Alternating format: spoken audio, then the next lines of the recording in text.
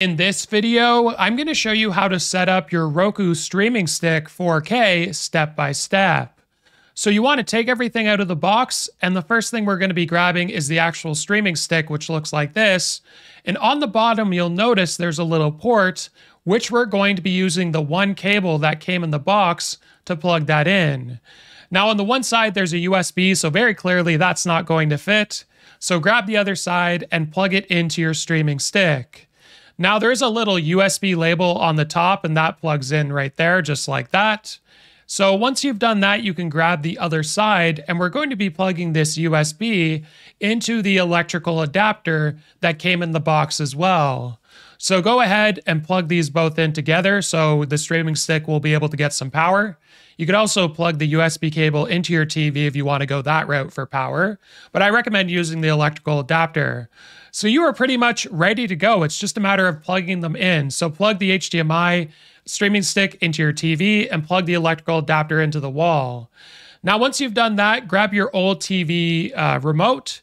We're going to be changing the input to which we had plugged the streaming stick into HDMI 2. It's going to depend on which one you plugged it into, but just change to the input uh, for which one you plugged it into. Now it's going to ask you to pair your remote. So there's a little slip on the back, so make sure you pull that out. I had done it already. Just make sure your batteries are working. Then you want to press the home button and the back button for five seconds, which will cause the green LED light to flash, indicating that it's pairing. So once your remote is paired, from here we're going to be using the OK button as well as the directional pads uh, pretty much to do the entire setup. And then all you need to do is simply get started by selecting your language. So go ahead and do that now. In the meantime, your Roku streaming stick is going to perform a wireless scan. So go ahead and choose your Wi-Fi network from here. And if you're not sure what the name is, you can always check the back of your router and it will have the name. So once you've selected your specific Wi-Fi network, all you need to do is input your sign-in information and password, and we'll be able to go to the next step. So press connect once you've done that. It's going to do a wireless connection test as well as internet connection tests.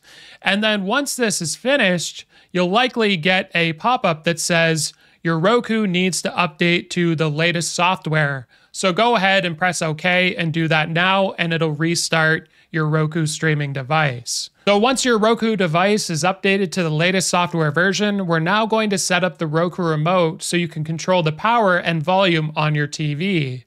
So select continue, and at this point you want to select your TV brand. I have an Amazon TV, but you can go to change TV brand and select whichever one you have.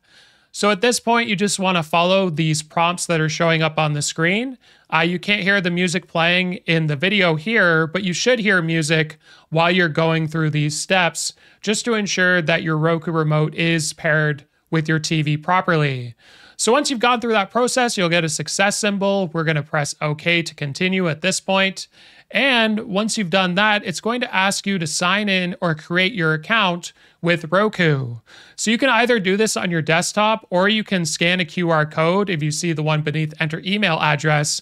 And then it's just a matter of entering in your personal information as well as credit card or PayPal information. So once you've finished activating your device, you'll get a screen that says all done.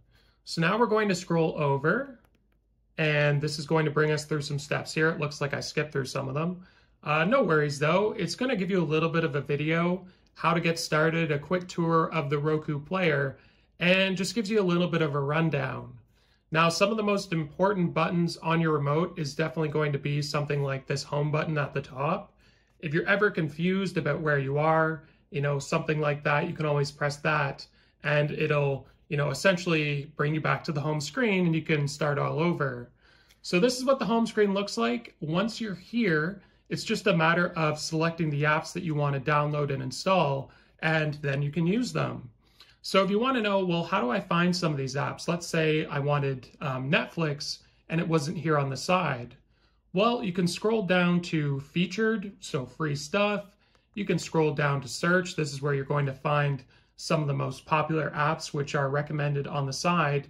And you can just simply type it in here. Let's say we're looking for Netflix, type in N, and it pretty much pops up immediately under the channels.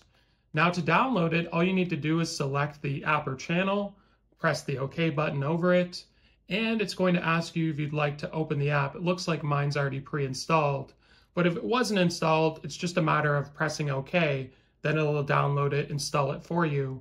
And if you want to find the app once you've done that, press the home button and it'll just be right off to this uh, right side here. This is where all of your different applications will show up once you've downloaded them. So yeah, it's just a matter of going to search. You can download or write it in there and it'll pop up for you. Or you can go to the streaming store and this gives you a bunch of featured apps. Uh, you can navigate using search, apps, movies, TV shows, games, the works, as well as other popular channels and stuff like that. So I'd highly recommend, you know, going through this yourself just to get used to using the device. And uh, yeah, you'll be shocked and amazed as to how easy it is once you really start using it and getting the hang of it. So hopefully this video was helpful. Like and subscribe and we'll see you in the next one.